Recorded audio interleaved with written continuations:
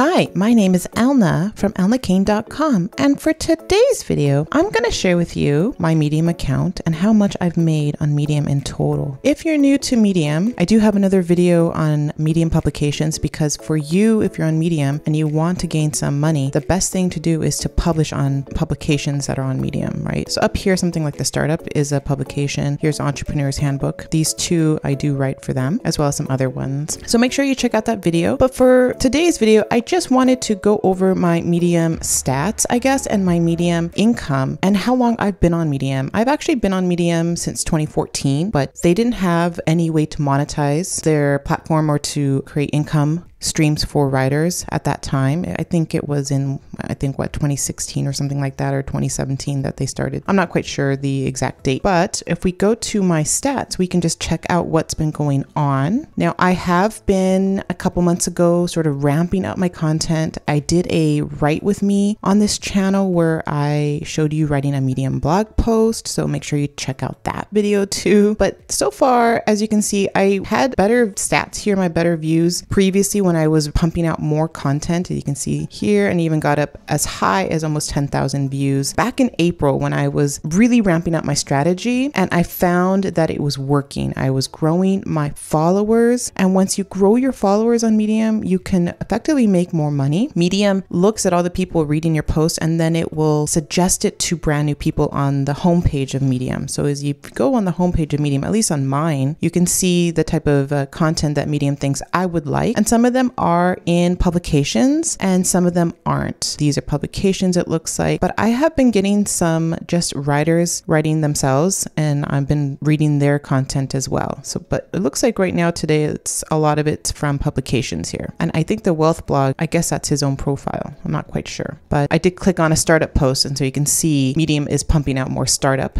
I clicked on it this morning. And so now uh, it's flooded with startup posts from that publication, but you can see there's a lot here. And there are many publications on Medium, and I did show you in the previous video. Down here, let's go to stats. Let's continue on. So yeah, I right now I'm not writing as often, and that does affect my views. It does affect my income. But once I have more followers, then I believe there's going to be a period on Medium where my views are going to even out because my older content, because it was popular back in April, will still be popular, you know, six months down the road. People are still going to see it on their feed. They're going to click on it, and my views are going to become stable. The more content I provide for Medium and the more followers at that time I provide content for them come and read my post. So I have hit 4,000 followers. So if we go to my profile, and thank you so much for those that have followed me on my Medium profile. Thank you. So I have my content that I want pinned up here at the top. These two posts are just about Medium, just if people want to know my history about using Medium, how much money I made, any kind of strategies that I've been using. I just like to put up here personally. My Medium profile is sort of my fun writing platform. I do fun things, fun experiments. I talk about blogging. I talk about some strategies that I'm using. I also help freelancers, but again, it's all just fun content that doesn't have to be research driven. It's more thought provoking. It's leader thought content where it's my personal uh, strategies, my personal things that I'm doing online to help my business. And then you can get, you know, a sneak peek of what I'm doing kind of thing. So, like, my most recent one was how I'm scaling my content to make more money. You know, since I do have other sites besides elnacain.com and I do digital marketing, which is also my freelance writing niche, I'm really diving into that aspect and learning how I can grow my content on the blogs that I have. And then just these are personal posts on my profile. They don't get as many views, which I was surprised since I was growing my followers. So it's strategies that I'm using definitely to see what's working and what's not. I have one on the startup. Freelancers Hub is a great uh, platform. It's a small publication, but I seem to get a lot of hits on this one. Like this one at 1.2 or claps, I guess it's called claps, not views. So people seem to enjoy my content on this publication, the Freelancers Hub. It's not a big one, but it has a small dedicated audience that are just me, other freelancers. So I am writing as a freelancer to other freelancers. And I think that's what this publication really helps me get those uh, claps and those initial views. So you can see here, and they have great content here about freelancing in general. I find that this publication and Illumination actually are the two main publications for me that have helped me generate the most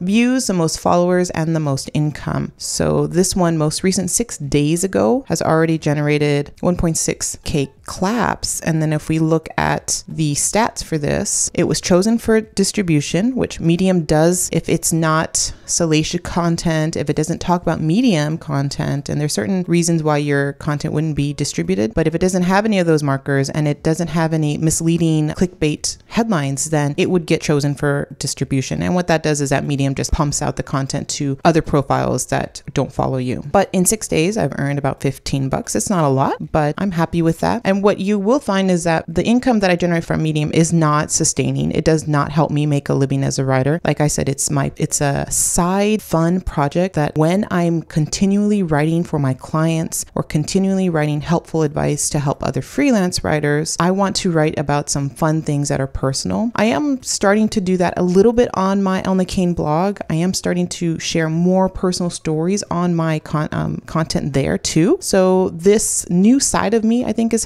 helping by writing on Medium more often about me, my my strategies, my story. It's helping me open up more to my other to my business to elnacain.com. But you can see here all of that. And then if we look at the stats for all my stories, we saw the view counts here, but you can see that even though it had one point, I think 1.6 claps, K 1.6K claps, it has about 700 views. So hopefully it'll get to a thousand views. But past content, older content in May is still getting lots of views. Like this one has over a thousand views. So when your content, older content gets more views, it's going to just get pushed out more and maybe it'll become viral. So, and I have two here during that time that hit the 1000 view mark that's good. And then when I go back to older content, you can see a lot of them have reached lots of views here. Um, and you can see the ones that do well, like Illumination, has generated me lots of views here. The startup is a hit and miss. It it's a slow for me, a slow view because it's one of the biggest or the biggest publication on Medium that I don't get immediate hits at all for weeks and weeks. So that's that's a hit and miss. That's what I have here in a nutshell. And then if you want to look at my audience stats, you can see what I found since my strategy Started March, April, May, around there, I started growing my followers a lot quicker. If you look here, you can just see the jump that I had. You know, typically it was sometimes I would hit over 100 here, a little bit here, but it's it was like for a while it was just hovering below 100, and then all of a sudden it went up to 300, and then 250. Like now it, it's something like this. I don't know if this month and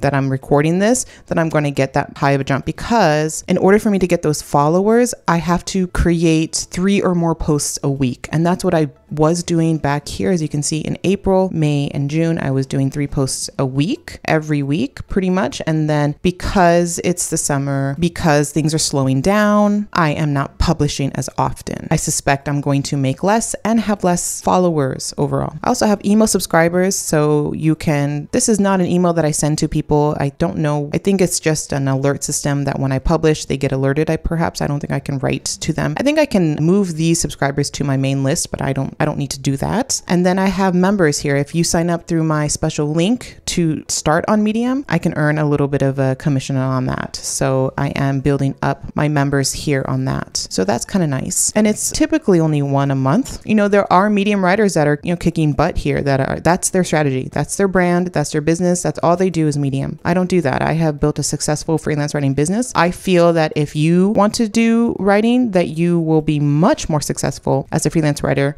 outside of Medium. You cannot build a business on Medium. I know that it's very hard and you will burn out, I believe, unless you write like highly, highly, highly viral content. But that's also a hit and miss, I'm finding too. Much better to build your own sustaining business outside of Medium and then use Medium as a way to build your portfolio. Use it as a way to show prospective clients that you can write content in their niche. While I'm writing more thought provoking pieces. You know, I picked up clients that want my expertise. They see that I've written about it and they want that on their site. So it does help a little bit if you're an authority in a certain industry. So if you're a nurse and you pump out nurse content, or if you are a graphic designer, something like that, where you can lean on experience there and then provide that on Medium. So here it's just more digital marketing, freelancing, and then uh, content here that has helped me. And if I wanted to, there are some stories on here that I would would use for my portfolio, but that's because I've shown stats. It's not personal. I like to show my portfolio like uh, general content that would help their business, what I would think would I would put them put my portfolio piece on their blog. So something like five hard truths about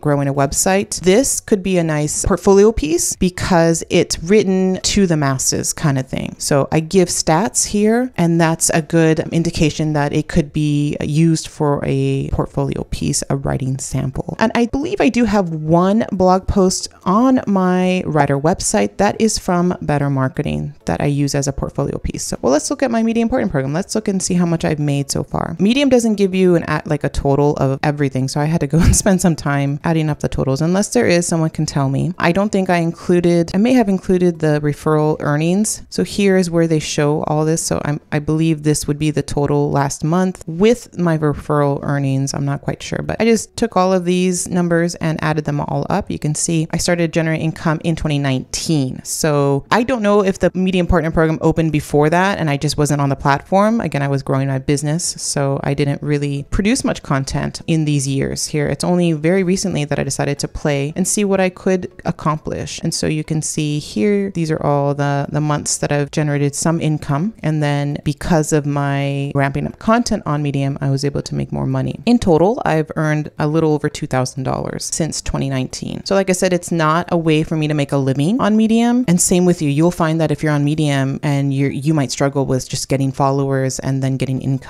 You might not. You might find that your first post goes viral and then you're just rolling on that and getting followers and then income and you can go from there. But it's not sustainable. Nowadays, it does take a lot of content, a lot of content to get noticed. You can do what there's a writer that I follow. Her name is Nicole Dake, I think. Yeah, Nicole Dake right here. She writes, she's growing her followers a little bit faster, but she writes very short pieces, two minute read, like very, you can see here. And she'll publish two or three a day, these small things here. Um, what was her most recent was something she flopped, or the one I was shown, Medium provided me was a, she flopped on Fiverr, a two minute read. So you can see how long this is.